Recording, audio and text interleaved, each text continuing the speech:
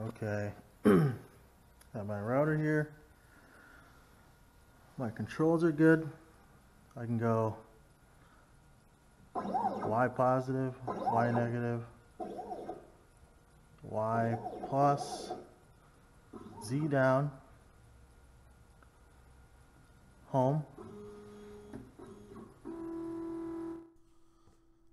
I'm new to this CNC stuff. Um, all of it's new to me. Uh, G code, programming, any of that stuff. I usually just let these programs take care of it, and uh, with this kit, there's a little bit more involved. Uh, my biggest mistake was this right here is where I set my tip. I never reset my origin or my work point to zero zero. And what that was happening was my z-axis wanted to fly up something like a thousand millimeters.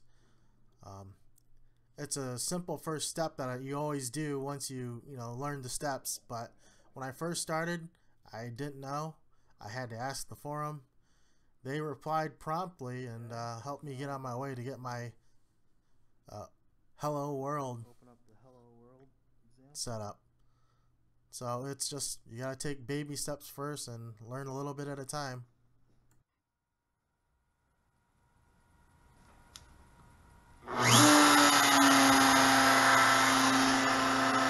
One job.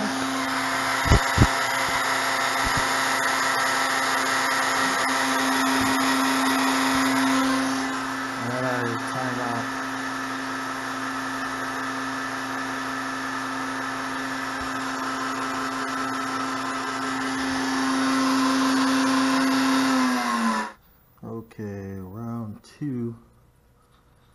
We have our Hello World example set up. We're connected. We're moving. Gonna set up our home.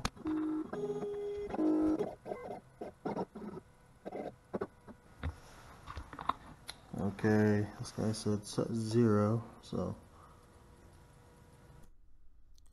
So as you can see here, I set my zero this time after some forum advice and I get excited to run the Hello World example and in my rush um, I think I eyeballed the Z and you don't do that uh, because you end up cutting air like I did but I think at this point I was pretty thrilled and you can see how far it actually went because I am cutting absolutely nothing but I'm still just kind of in awe of it. But uh, third time's a charm, and that's when I get some results.